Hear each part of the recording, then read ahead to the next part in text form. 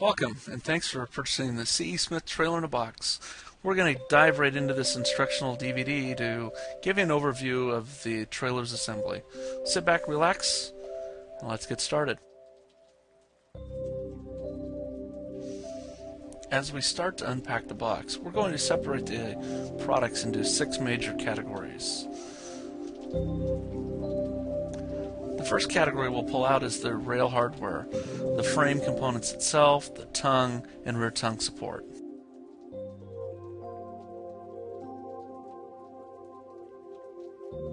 The lower carriage consists of the wheels, axle, U-bolts, and spring assembly. Fenders include brackets and all the mounting hardware. the bunk boards, and fully adjustable brackets. As we get to the final assembly, we'll install the winch post with the winch, the bow stop, the coupler, safety chains, and then we'll move into the lights.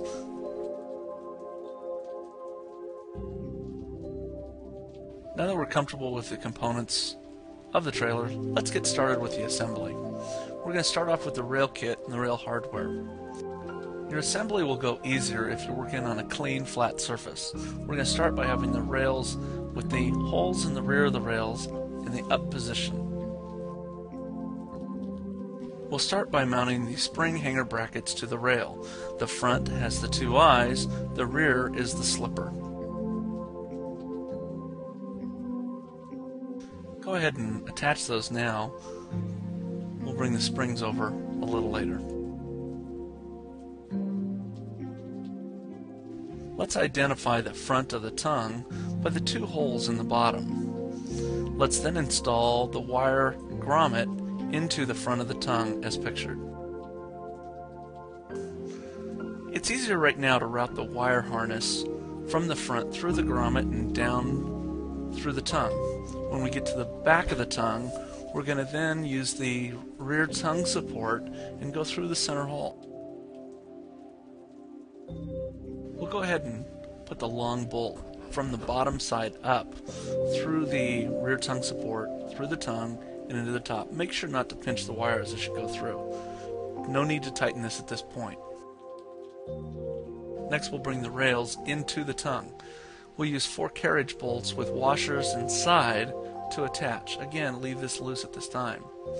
The front tongue bolts get washers on both sides. Next we'll locate the two cross members. Two cross members are installed facing each other between the main side rails. They're held in place by two carriage bolts on each end of each cross member.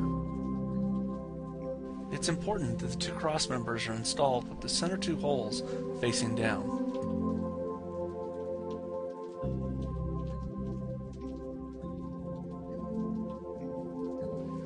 Time to tighten the entire frame assembly. We'll start with the cross members, front and rear, proceed to the rear tongue support, then go to the front of the tongue, and finish up by tightening the single bolt through the rear of the tongue and the rear cross member. Prior to the assembly of the lower running gear, we need to determine whether we're going to assemble with the axle above the springs, as pictured on the left, or below the springs, as pictured on the right. We highly recommend you install your axle below the springs. This will allow your trailer to be 2 inches taller and more in line with your SUVs or pickup trucks. For the sake of the instructions, we're going to assemble the axle above the leaf springs. We intend to tow this behind a small vehicle. Let's make yourself familiar with the running gear components as we'll get started.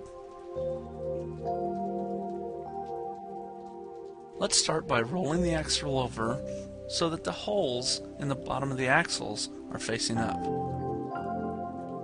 Lay both springs over the top of the axle, aligning the bolts through the springs to the hole that we've already rotated in the up position. To have your axle below the springs, simply turn over the springs, putting the button through the hole on the axle. We're going to slide the U-bolts from below the axle through the tie plates and attach with the 3 8 bolts.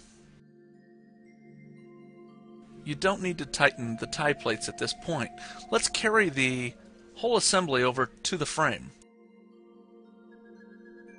Next, let's insert the slipper portion of the spring into the rear slipper hanger. Next, put the eye of the spring into the spring hanger. This gets a bolt through there to hold it in place but acts as a pivot. Do not over tighten it. Go ahead and evenly tighten the U-bolts holding the springs to the axle. Put the wheels and tires on. We'll tighten them now, but we'll torque them later. Now that we've got our trailer assembled upside down, we're going to want to roll it over for the final assembly.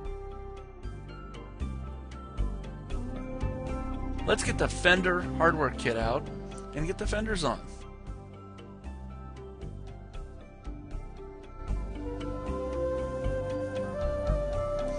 Fender brackets mount inside the fenders using the slotted screws from the outside of the fenders and a lock nut inside. Finger tighten them now, we can tighten them up later. The fender is bolted to the frame rail with a washer on each side. We're ready to mount the lights to the brackets and then to the frames using carriage bolts.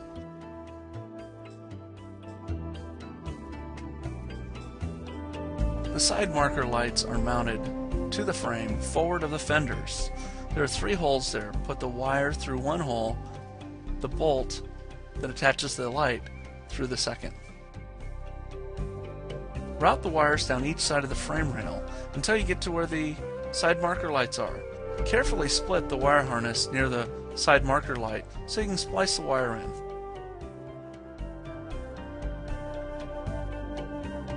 Use the four clips provided to attach the wire to the frame rail. When finished routing the wires, strip the wires and prepare to push them into the back sockets of the lights. The lights are marked brown or green and yellow. Push them into the appropriate slots.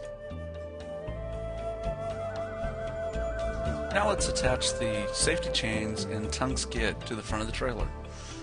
Insert the bolt with the washers through the chains as shown. Prior to attaching the coupler, we need to attach a eyed wire connector onto the white ground wire. One of the coupler bolts will attach this to the trailer. The spacer provided is inserted into the tongue to add support on the front bolt only for the coupler. The rear bolt with the ground wire attached simply goes through the back of the coupler. The tow vehicle portion of the wire harness is also provided. See your owner's manual for instructions. The winch post is mounted on the tongue sloping toward the coupler.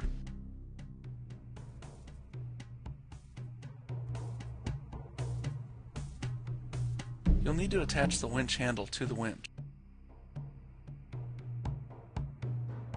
Bow roller and winch are then attached to the winch post.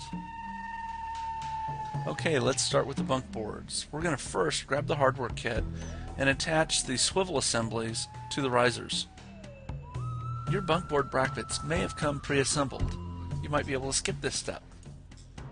We'll first attach the bunk board brackets to the frame, then attach the bunks to the brackets.